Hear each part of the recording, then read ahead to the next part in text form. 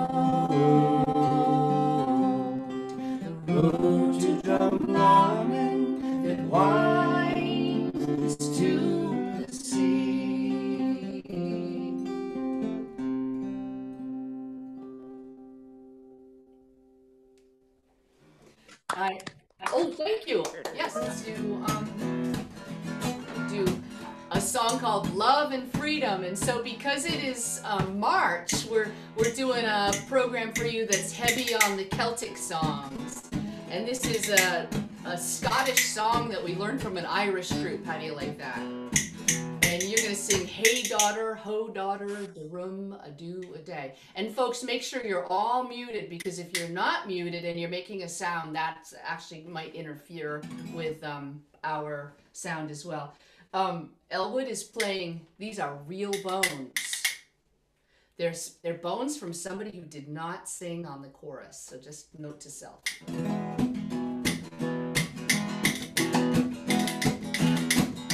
As I went out the marketplace, what do you think I see?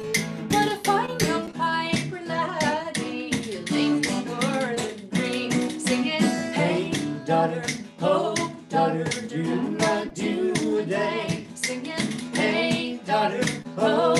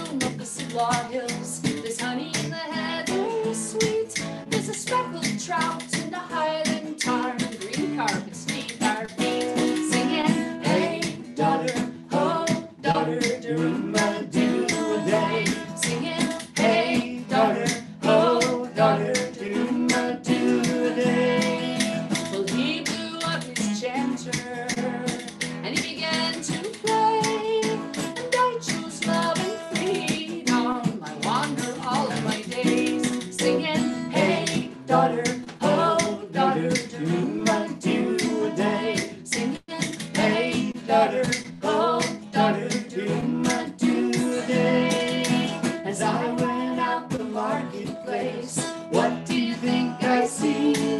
A fine young piper laddie, Lincoln or the green, singing, Hey, daughter, daughter, day. Singing, Hey, daughter, daughter, day. That sounded great. Bravo.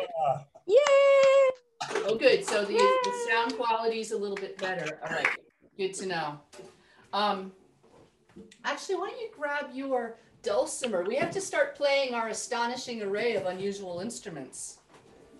And I, I have, as some of you are familiar with, I have a few jokes for you. And we, we are doing this concert because we have been invited by the Framingham Public Library in Framingham, Massachusetts. And so I thought I should tell my favorite library joke. I, I wonder if you know this one, Lara, as a librarian. But so this guy goes to a library and he's talking to the clerk and he says, I'll have a burger and fries. And the clerk is like, You're in a library, you know that, right? And he's like, Oh, I'm sorry, I'll have a burger and fries. Do you know that one? You know, I don't. I, I've heard the uh, the one my sister used to tell me, which was the she's an audiologist and I'm a librarian. She used to say, "What did the librarian ask the doctor?" And I would say, "What?" She'd say, "Would you like fries with that?" So, hating on my profession, but I haven't heard the quiet version. I like that one better. um, let's do the Jamestown Homeward Bound with double dulcimers. So let me uh, just back up. Let's let's back this thing up a little bit so people can see our dulcimers. Yeah, just go back, watch that rug. Yeah.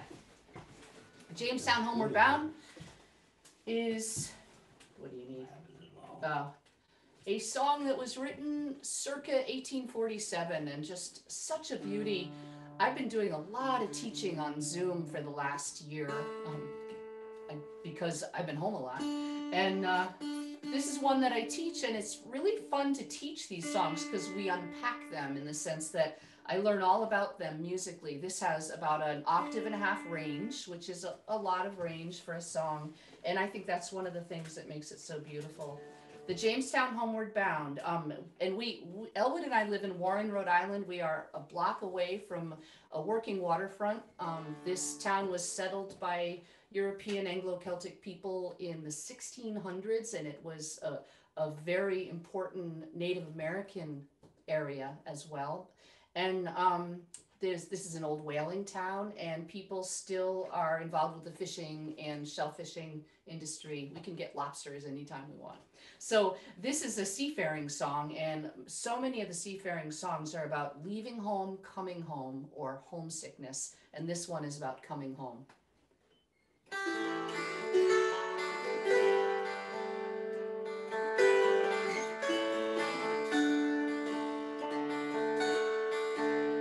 The farmer's heart with joy is filled when the crops are good sound. But who can feel the wild delight of the sailor's homeward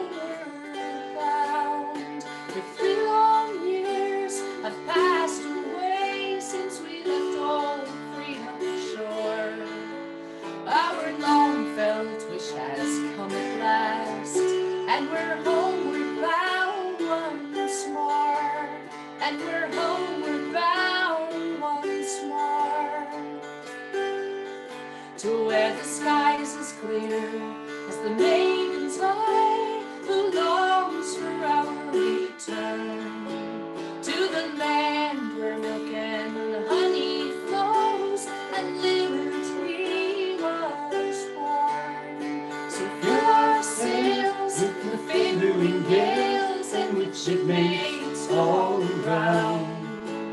We'll give three cheers for our starry flag and the Jamestown bound. And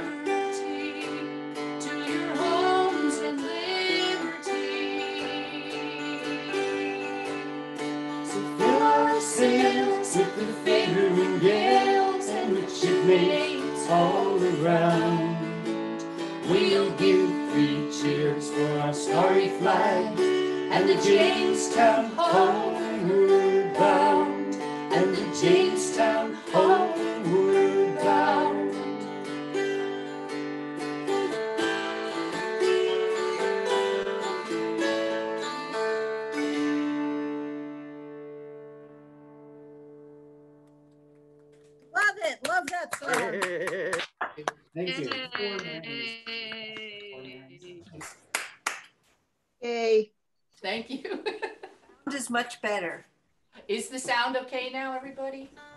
Much better. Good. Okay. That's amazing. I turned off the Wi-Fi on my cell phone and I closed one application on my computer. If anyone had told me a year ago I was going to know all this stuff, I learned so much tech do you i i am on the computer a lot and i dream about it at night i'm just i'm on the computer even in my dreams But what a wonderful way to connect with people. I mean, that there's been some beautiful silver linings. I mean, besides the fear of death and doom and sickness all year long, which was not has not been my favorite. Um, there've been a lot of interesting silver, silver linings, and, and for that I'm very grateful. And one of them is is having an exciting night like tonight. I how many people are in attendance now, Lara? I see 114 computers. Often there are two or three people on many of the computers. So that's five thousand and eighty-seven. good math. She's been really good at math. As long as I've known her. So here's a song that Kathleen um, requested, and this is a poignant beauty, a centuries old song, and part of the most famous English language ballad collection called the Child Ballad Collection, and that is the last name of, of a professor who put together um, detailed research of over 300 songs. This one is known as Mary Hamilton, and we know it as Four Marys, and this is a Ritchie family version from Jean Ritchie in eastern Kentucky.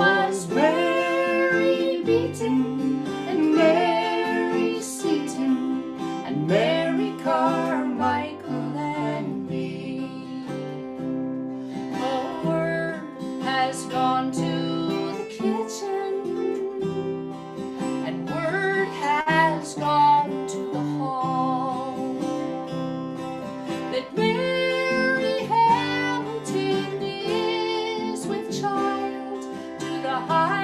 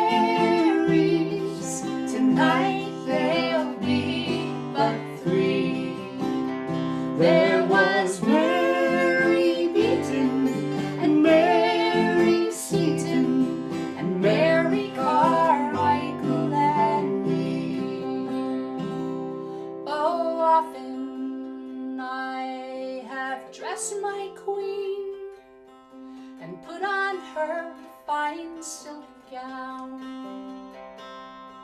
And all I've gotten for my reward Is to be hanged in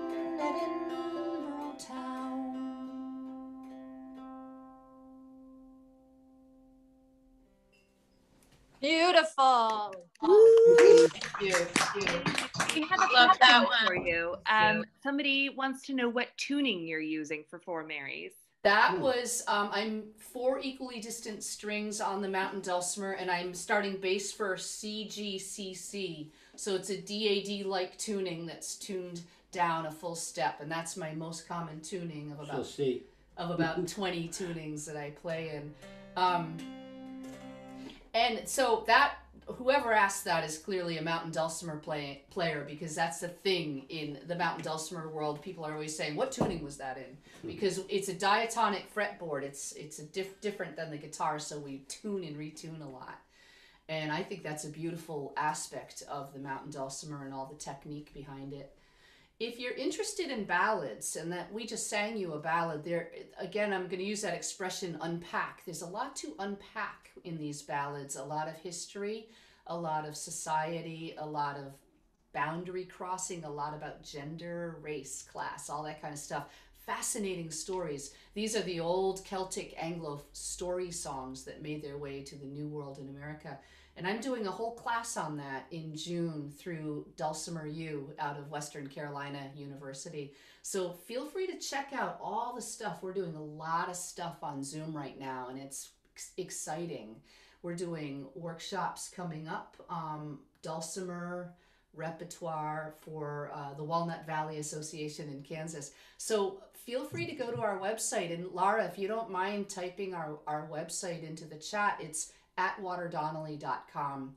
You can just Google Aubrey and Elwood, and because nobody yeah, has our names, and, and and our website will come up, and Is look at our hyphen? calendar. What's that? Is there a hyphen?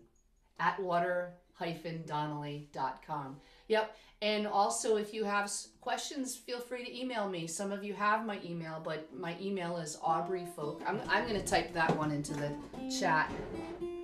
Um, yeah, thank you, Lara. Actually, Lara, if you don't mind, um, oh yeah, at water, you got it right, Lara, atwater-donnelly.com. And then I'm going to put my email to everybody. Feel free to email me if you have questions about classes we're teaching. We're teaching quite a few subjects. We do dulcimer, we do Or just Repertoire. songs? what's that? Or, or just about songs or anything? Yeah, we, we like we like hearing from you, and we, we get lots of really cool emails almost every day. Uh, people asking questions or saying nice things to us.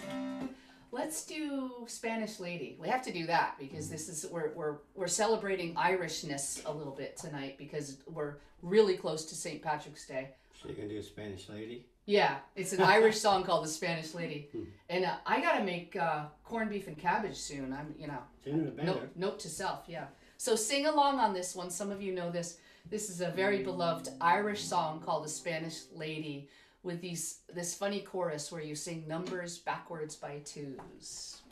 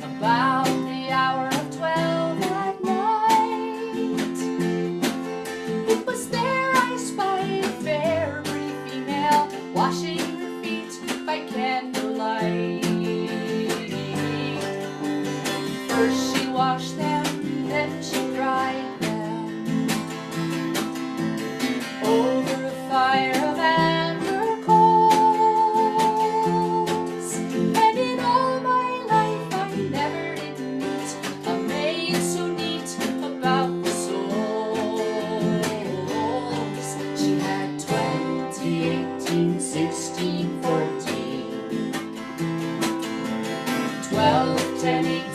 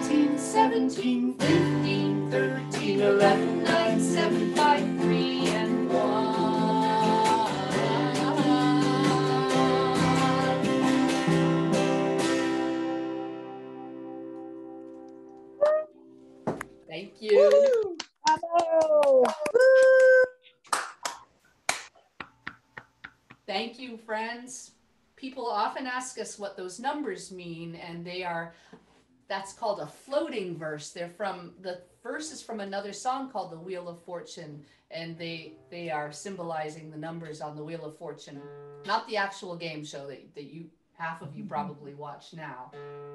That guy watches Wheel of Fortune, right? I record it. Oh, you record it. So, uh, for you Dulcimer players out there tuning to DGDD, Reverse Ionian, and some of you are like, okay, we'll do As I Roved Out, which is a beautiful Irish song that has some corrupted history. This this happens a lot in these old songs. They they get passed orally for for generations. So there's sometimes strange, erroneous references. I think there was a king of England during the Nap- Napoleonic Wars, for example, not a queen. And in this song, the premise is so interesting. This guy stumbles on his upon his true love, and he's married a different woman because by royal decree, because he was not fighting in the Napoleonic Wars, he was obligated to marry the wife of a landed man who was off fighting in the wars. Did that make sense? Think so. In order for the land to be worked, to continue to be run and managed and worked, You had to marry someone could- else's wife. Right, he had to marry somebody else's wife, and apparently women couldn't manage things themselves. So, but that's a whole other story. We'll we won't go down that road. But anyway, that's what's going on in this song, and it's it's so odd. So um, yeah, and I have a degree in psych, so I'm thinking, yeah, these these people are definitely having issues here. It's a beautiful song called "As I Roved Out."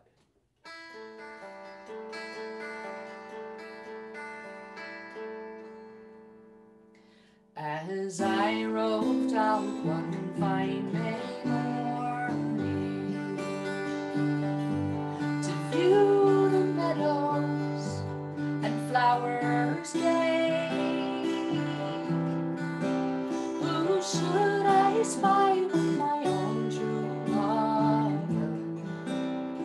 As she sat by yon willow tree, I took off my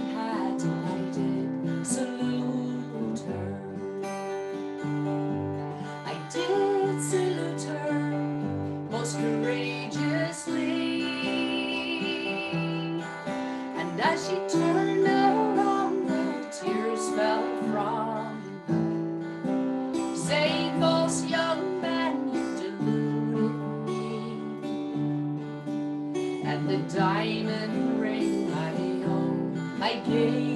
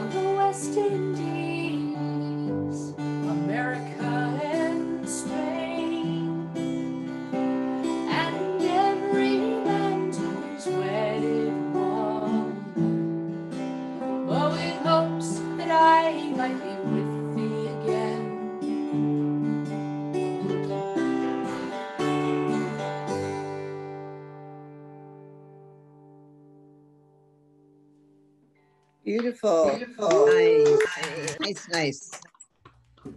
Thank you. A lot of these old beautiful songs, just like any stories, have to do with with barriers that we all experience in our lives and and whether or not we can relate to the actual details of the stories. I th- I think we can relate to a lot of these themes of of separation that that so many of these folk songs have. And speaking of that, let's do Kilkelly since that that subject came up.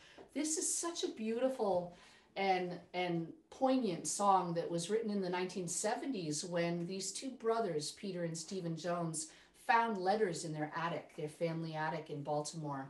And the letters had been written during the latter part of the 19th century when, as some of you know, in Ireland, a lot was going on, and there was this mass exodus of about 8 million people during the second half of the 19th century.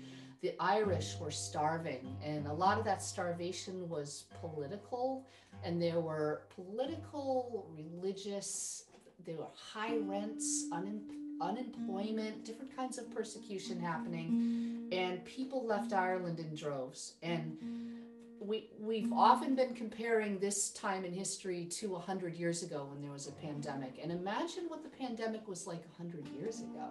We our communication is so different now. So imagine leaving ireland in the 19th century and that was it.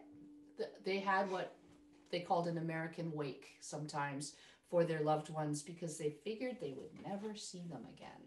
And so that's what is so poignant about this song it's a true story and it's about family members being separated so um and what these brothers did to to distill and cull from these copious these wordy prolific letters is quite remarkable in this song Kilkelly ireland Kilkelly Ireland, 18 and 60.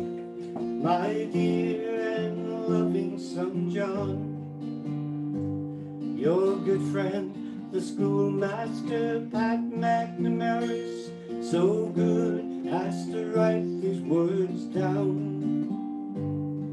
Your brothers have all gone to find work in England. The house is so empty and sad.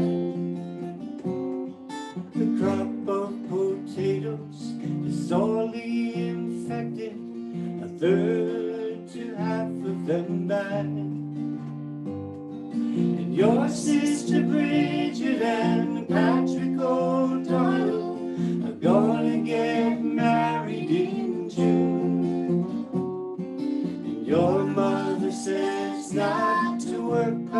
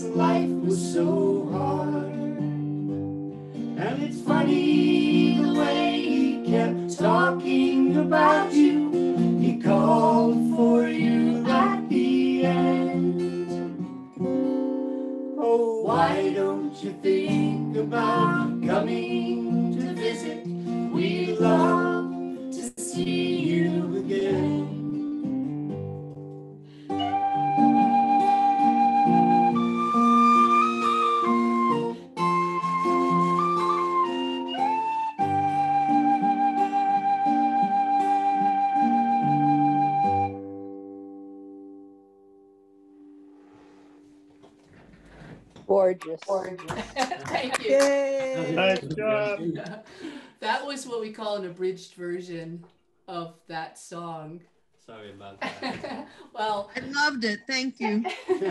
sure. It's it's very real on Zoom um, in some ways, and and we we're just uh, our natural selves, and and that's a a very delicate song for us to do. And I've noticed uh, we just played it the other day, perfectly fine. But I've noticed that uh, you get can get thrown off. Yeah. But anyway, um, that's on one of our albums that we did years ago called The Willow Tree, and you you can Like the willow tree. Oh, like the willow tree. You can access all our recordings, either listen to them on YouTube or you can order them off of our website, either digitally or hard copy. And um, this one, we'll, we'll do Imagine Peace since we're set up for it. This is a request, Imagine Peace. And I'm playing the Irish whistle, by the way. And I'll just show you, I'll quickly show you. This is my collection. And these, like the mountain dulcimer, are diatonic, and so I have lots of different keys. But both of these songs right now that we're doing, I'm using a B, B flat whistle, but I don't think either time I'm actually in that key. Um, anyway, long story. I don't have to explain all that. But this is a, a tune that was written by Phil Edmonds, who is a friend who lives here in Providence, Rhode Island, and it's called Imagine Peace.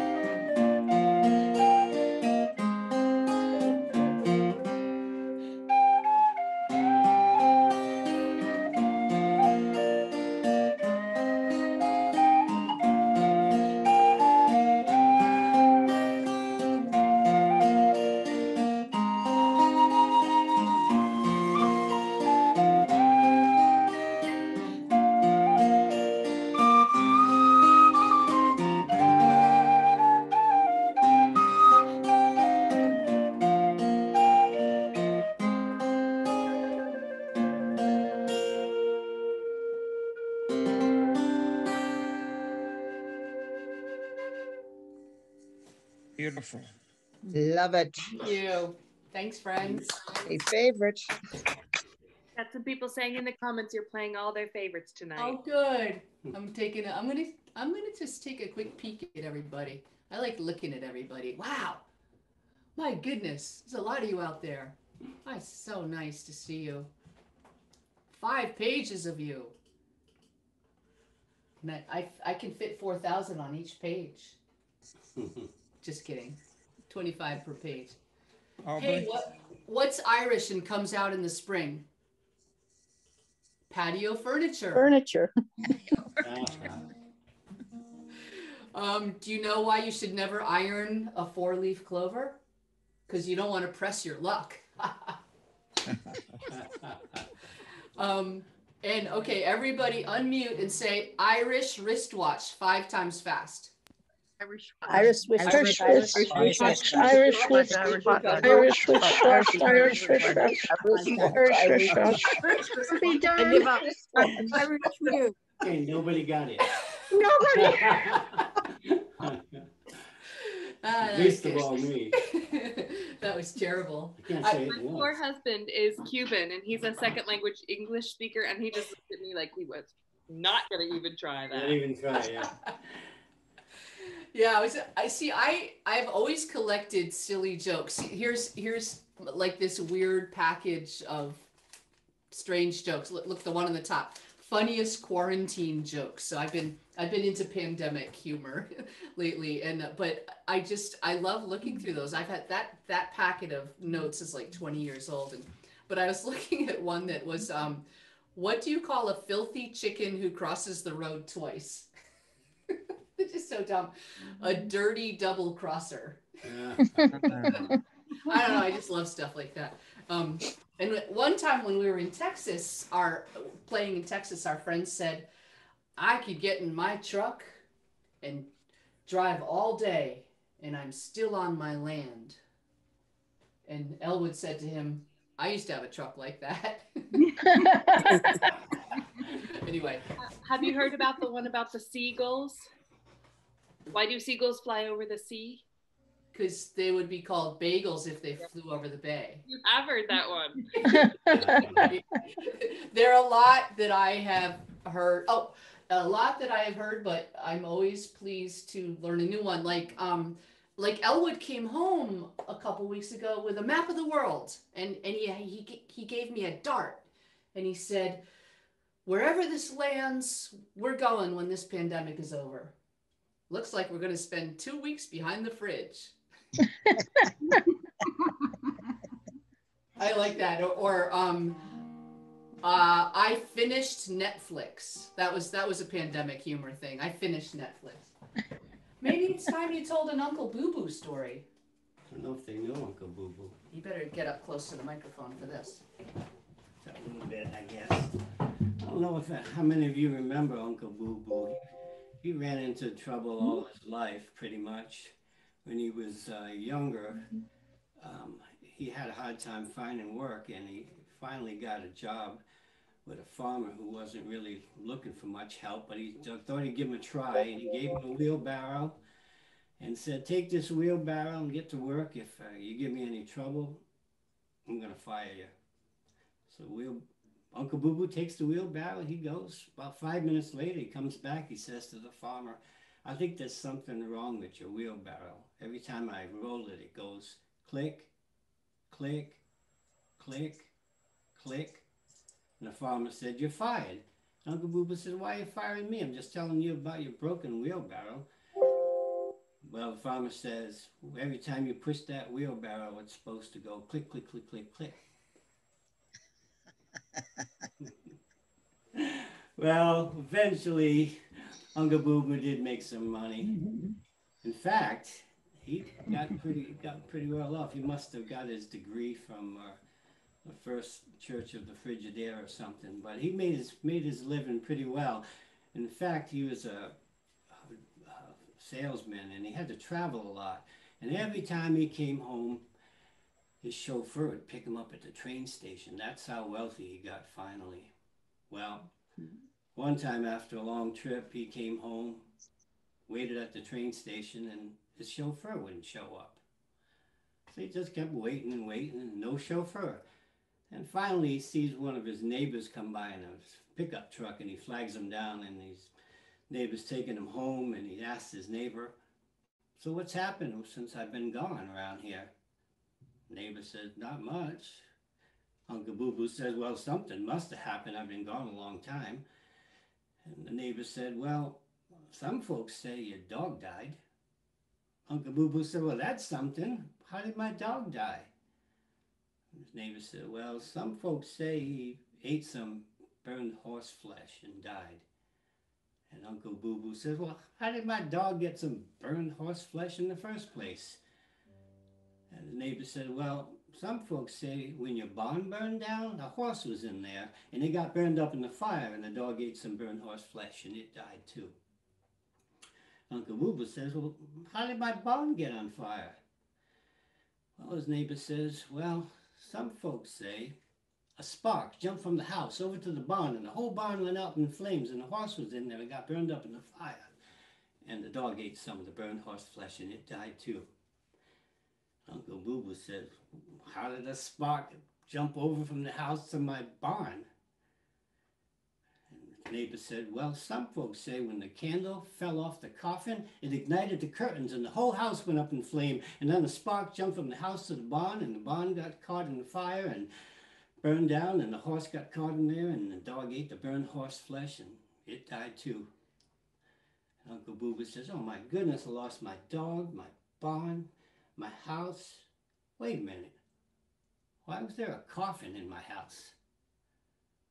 And then the neighbor said, "Well, some folks say that your mother up and died when your wife took off with the chauffeur."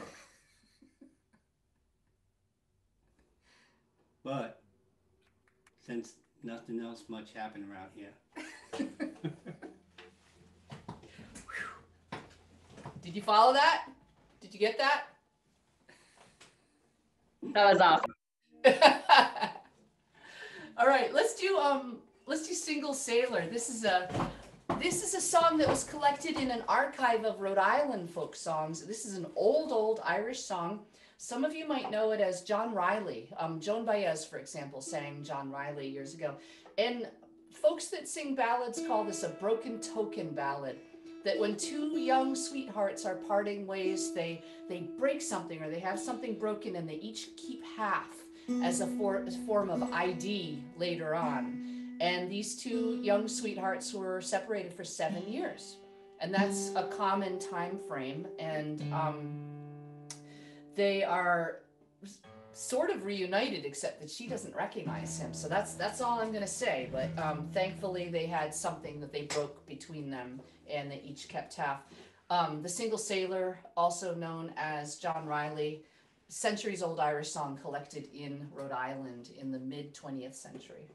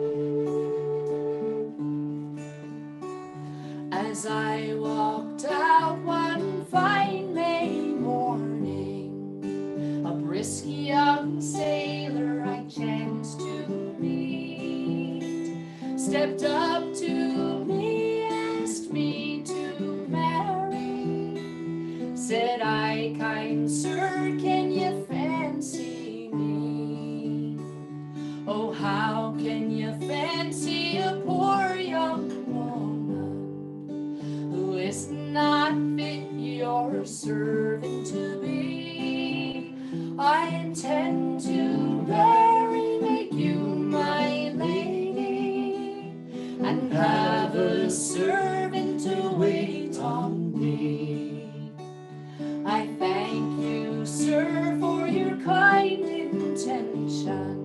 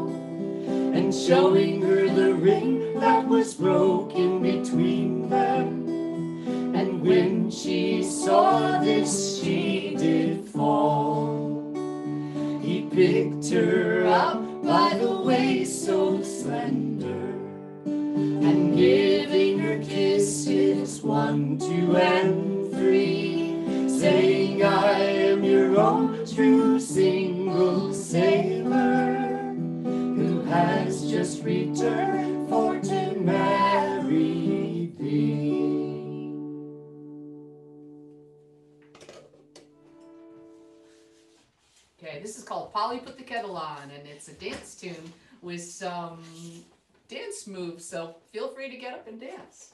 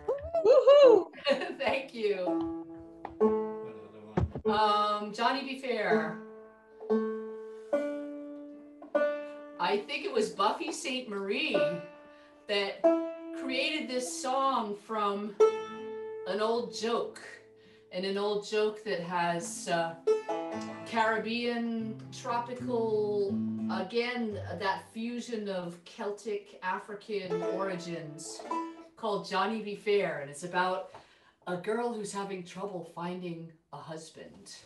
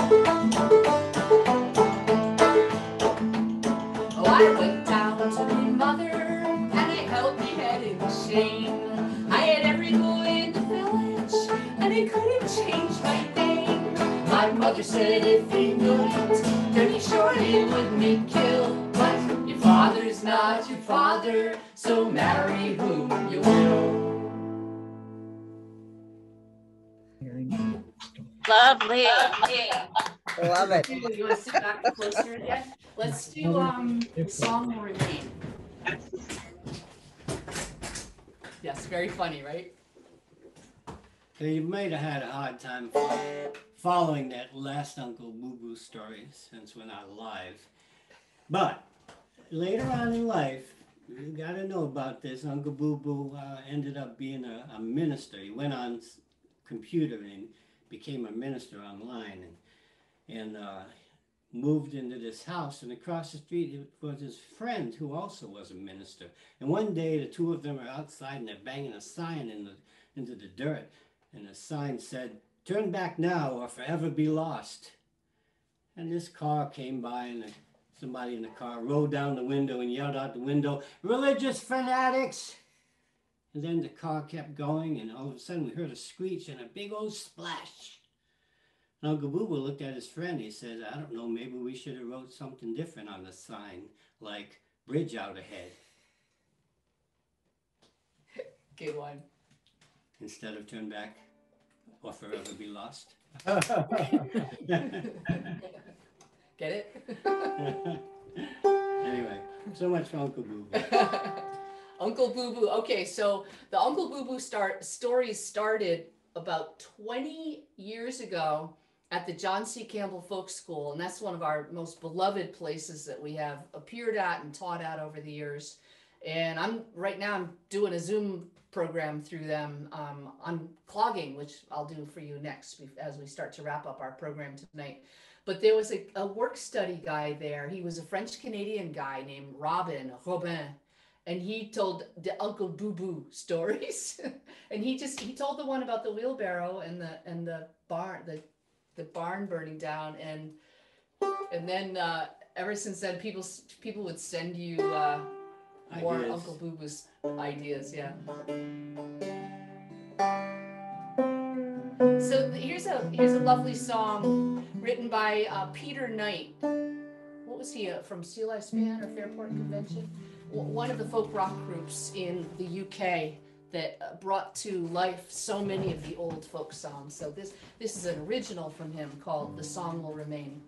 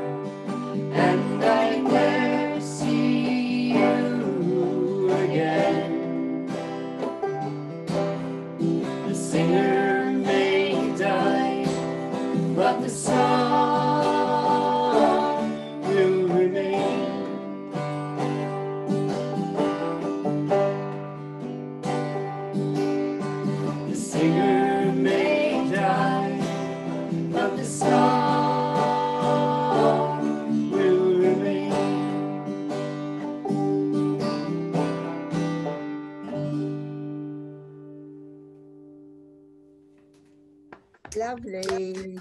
Oh, my. Yeah, what a.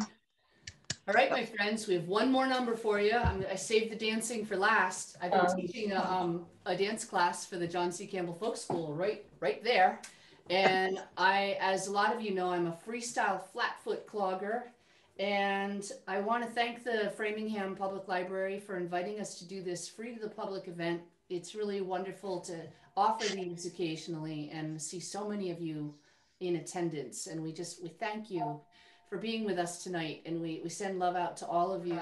So let, let me just, let me just show you a few steps here. I tried to put on colorful socks so you could see my feet better. I don't know if it works. you can't really tell. Yeah. Yeah, I gotta do like what Michael Jackson used to do. So try this at home. Try this one. That's good for the knees.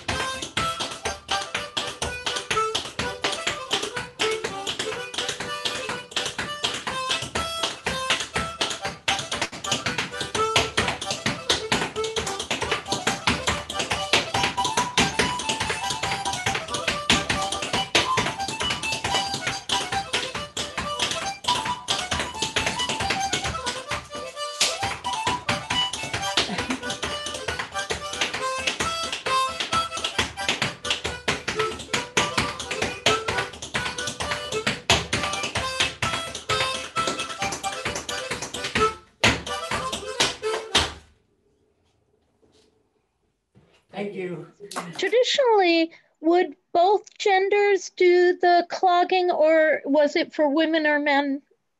I love that question because I definitely delve in that kind of subject.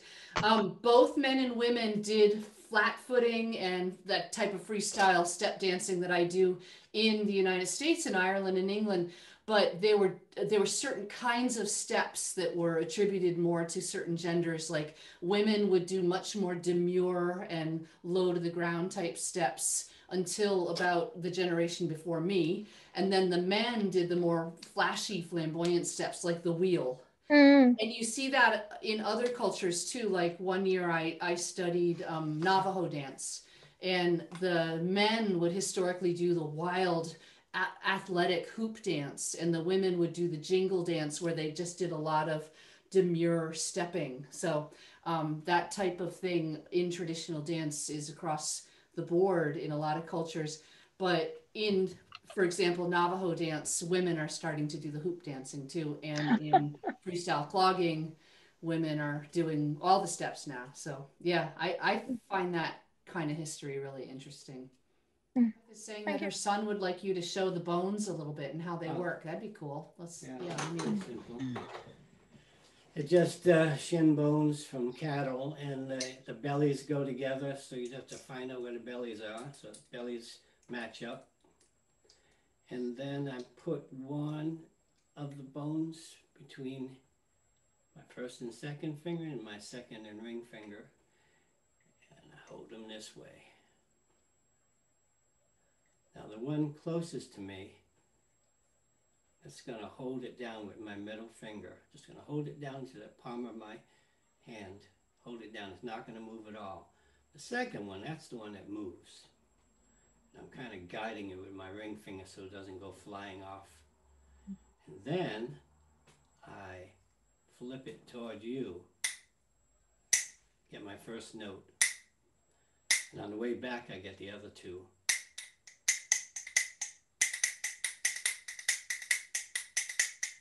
Hmm. Then you have to kind of put some kind of rhythm in it.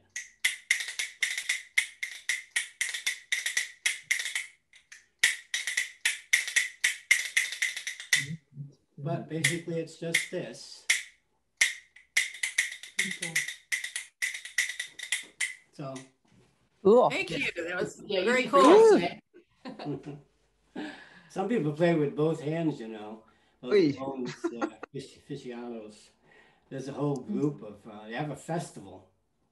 There's a festival where they play bones. Okay, so yeah, the whistle's pretty cool. Um, it, it's the force of your breath. You can you can make more than one note without even moving your fingers, depending on how hard you're blowing into it.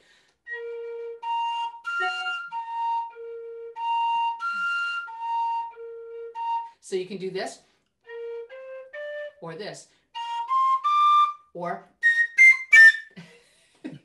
That's my favorite. I just blew out his miracle ear. so every now and then it's it's called overblowing it or something like that. I actually make notes that you're like not really supposed to, but it like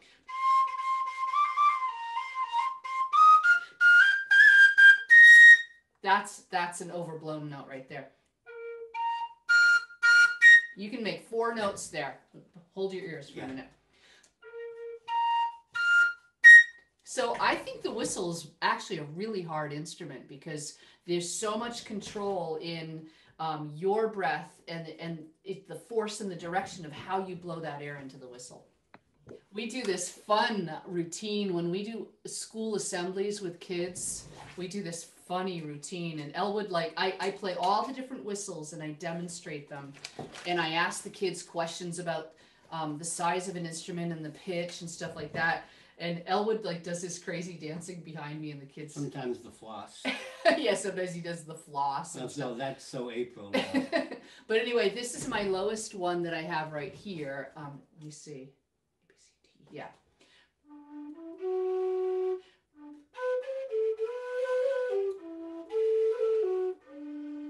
And then I'm just gonna play a few samples here.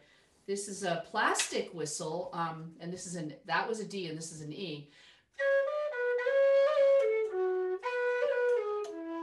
And this one has, I don't know how well you can see, but it actually has, I forget what you call these things, but um, those things assist you in covering the holes because sometimes my hand is just not big enough depending, depending on how the whistle is constructed. This is a very traditional type of tin whistle, very Irish.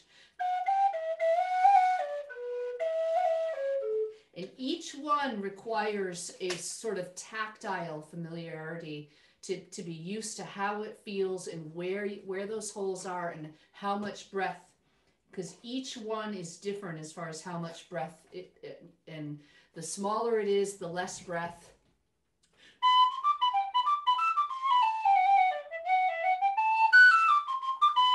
and and so you don't want to blow too hard or else you'll make some really horrible sounds um getting real small here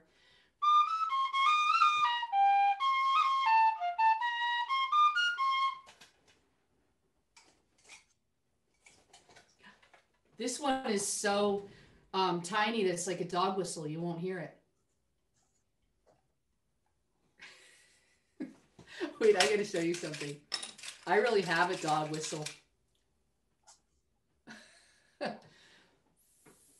man, could you come down a couple of decibels? but that was my my father. My father had a whole collection of dog whistles. I I don't know. He had he had all kinds of stuff. But anyway, um, this is my highest one, and this is a G.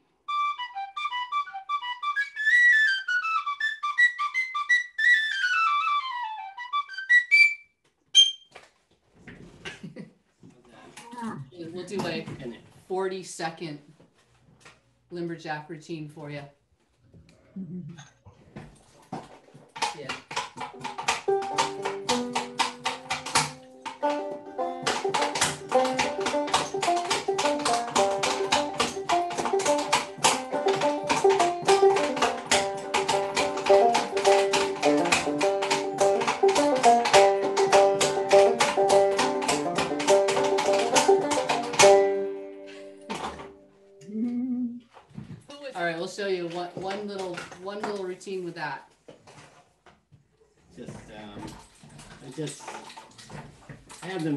Side by side, and then they let the guy jump on the horse. Right, right. Sometimes it works, sometimes it doesn't.